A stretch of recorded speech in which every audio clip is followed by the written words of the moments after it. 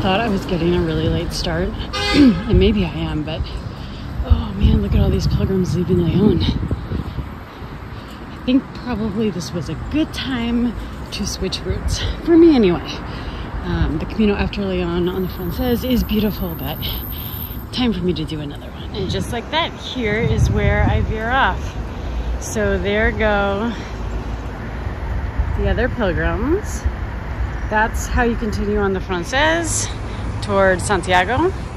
But I am going to Oviedo. First official sign, Camino de San Salvador, Leon de Oviedo. So the arrows leaving Leon kind of take you up on the street over there. But I have read that you can pretty much follow this river walk for, I don't know, eight or nine kilometers. I think really all the way out of the city. Um, so I'm gonna try it. And actually, I just saw right up ahead here, a yellow arrow. Oh, that's so encouraging. I mean, I definitely did want to try to walk this riverway and it's pretty easy you just keep the river to your left but I always feel a little uneasy when I head away from the arrows and so seeing a yellow arrow makes me feel really good that I'm on the right track headed out on the San Salvador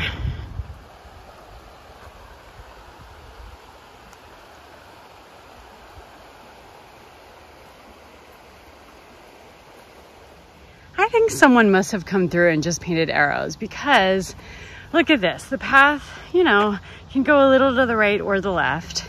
And I looked at the ground and on the tiniest rock, there's an, there's an arrow. And there's another arrow. and there's one more. Where is it? Yeah, right here. Another one that's all kind of pointing to the left. There are arrows all over the place.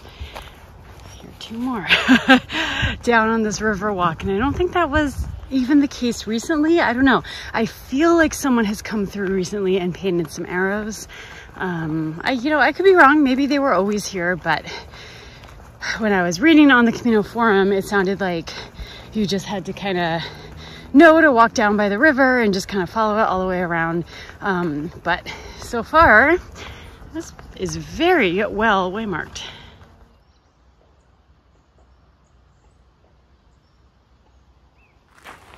All right, I am officially on the Camino de San Salvador. It, I have to say, it feels good to be on a different path. Um, you know, I did really enjoy my little stretch on the Camino Frances. I'm really glad that I was there to walk the Meseta. That was kind of appealing to me when I was planning this, and it's a really kind of special and unique part of the walk.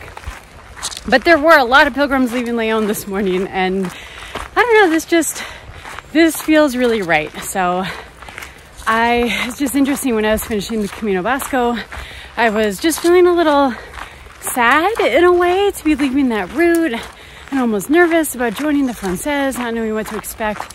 But this part of it somehow really felt right. You know, I was in the city last night in Leon and you know, there are so many pilgrims around, but I didn't recognize many of them and um, I didn't, yeah, see really anyone that I had met on the past nine days. A couple of the Italians I saw, but really didn't see anyone. And so it kind of almost even more solidified that, like, yeah, it's time for a new path, time for a new adventure. Um, so, yeah, so right now it's kind of overcast, which it's quite a bit of a change. It has been sunny for days and days and days. Um, but I do think, I think I'm gonna have good weather for this stretch. I hope so because I have some beautiful stages coming up and you know, doing them in the rain, I'd do them, but it wouldn't be as nice. So I think having clear weather is gonna be so good. So my fingers are crossed for that. Otherwise, I'm just happy to be walking and heading out on a new Camino.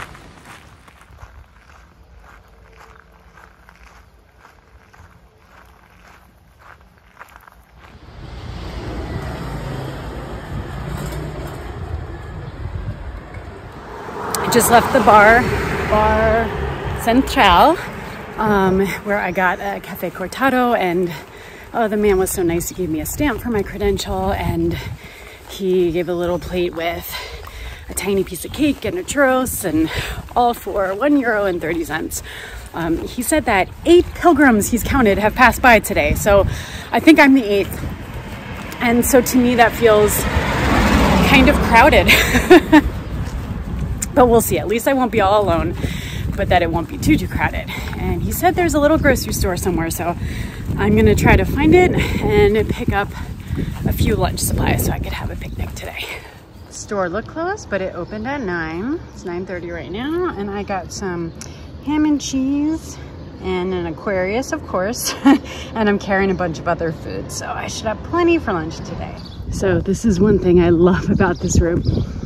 It's like eight and a half kilometers out of Leon and kind of through the, you know, just outskirts of the city and residential areas. And you're, you know, there was that river walk, but you're kind of on a paved road. And all of a sudden, we reach the end of this little town and the paved road stops. it says Oviedo, Buen Camino. And then it goes on to this dirt track. And from here, we kind of head off into those hills ahead. And I don't know why, but I just love, to me, this feels right now officially like kind of like the start of the San Salvador. And just want to quickly clarify one thing I said in a past video about the eight other pilgrims feeling like it was crowded. You know, that's not crowded, but it's all kind of relative depending on the Camino route you're walking.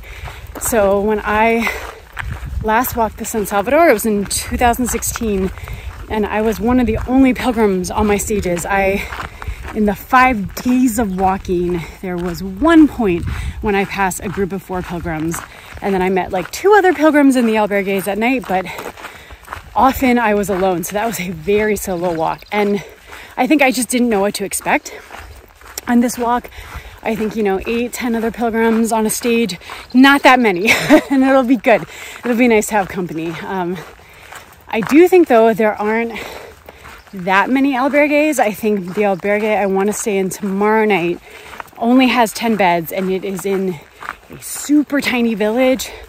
Um, and I don't think there are many other options. So I feel like that might be maybe the only point that could get a little tricky if there are too many pilgrims, but I think it's going to be okay. I'm not worried about it. So, all right, time to enjoy this walk.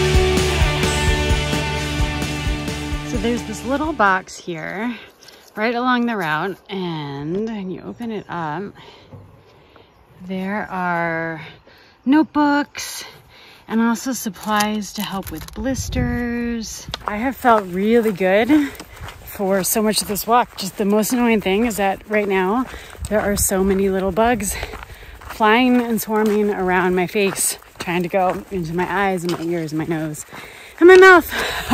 Otherwise, this walk has been great. there was a little thunder earlier, so I'm gonna sit and have a little break and eat just in case I get rained on.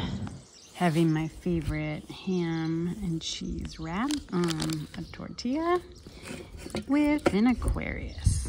what I just noticed. This is the Plaza del Peregrino, which is perfect got a couple of benches. It's where I just eat my ham and cheese wrap. There's a fountain over there. There's a sign pointing the way. Very nice spot for a break.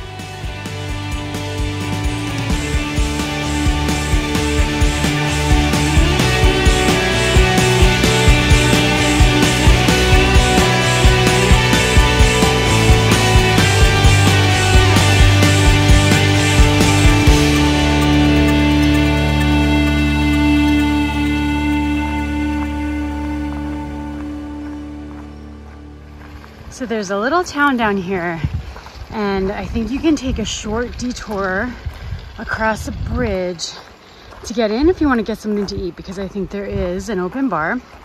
But I'm gonna keep going because I had such a good lunch just back there a little bit. So I think I'm just gonna head for the end of the stage. I'm not sure how much more I have to go. Maybe six kilometers yet? Five? Not too bad. So there was an option when leaving that town, and unfortunately, I didn't take a video of the place in the road where there's an alternate route. But it's well marked on the sidewalk. There are yellow arrows pointing straight ahead that says you can go by road, or arrows pointing to the left that I think avoids the road. This is one kilometer longer, so I am taking a slightly longer route. Still six kilometers to La Robla. So I had a little more to go than I thought, but I think these last six aren't going to be too up and down, and this should be a really nice walk. Oh, so far, this slightly longer alternate route is gorgeous.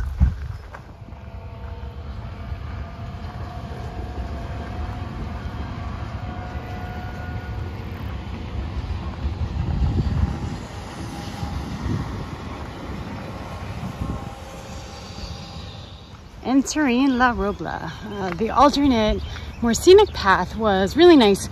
It was definitely a little meandering because I think I basically like walked all around this little city town and like entered from the further side. But I did not have to walk by the side of a busy road and I had good energy, so I enjoyed taking that alternate path. Okay, now I have to figure out where I'm going, so I have to pay attention.